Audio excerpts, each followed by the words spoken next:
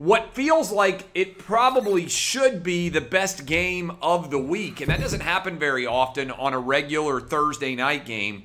Cardinals now out to a six and a half point lead against a sorry six and a half point favorite against the Packers. It'd be hard to have a six and a half point lead. Over under in this one is 51. Big story: Davante Adams out with COVID related issues. Furman, this line continued to tick in the Cardinals' favor, the only undefeated team left in the entire NFL. It's Kyler Murray against Aaron Rodgers. Is six and a half too steep for you?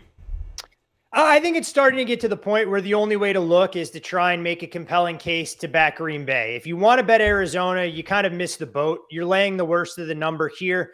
And you talked about it. Davante Adams no, not going to be available for Green Bay. No Allen Lazard as well. But interestingly enough, when you look at what the Packers have done without Davante Adams since LaFleur took over as their head coach at the start of 2019, the Green Bay Packers are 6 0. Aaron Rodgers has averaged more than 300 yards passing in those games, 17 touchdowns to one interception, and they've averaged more than 32 points per game.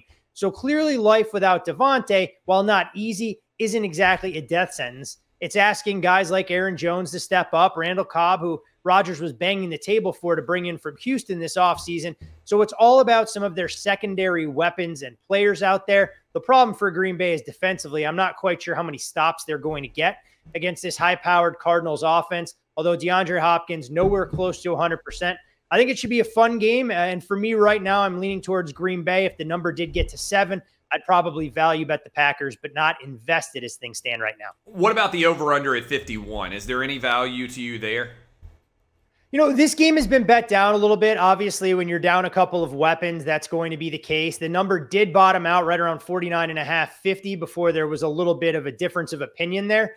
So much of Green Bay, when you look at them so far this year, they've actually been an under team, which flies in the face of what a recreational bettor would think. But it's because they play extremely slow, methodical. When they're able to build a lead, they take the air out of the ball if one of these two teams, whether it's Green Bay leading or Arizona, probably the more likely scenario, gets up by 10 to 13 points, I think this game is going to speed up quickly. And it's probably the perfect game if there's a slow start to look to bet it live over the total on FanDuel, more so than tangling before the game even gets started.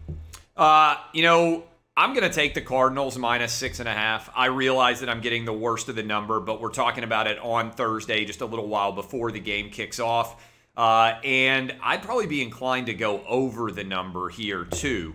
Uh, but the one that I would bet more so than the other is the minus six and a half.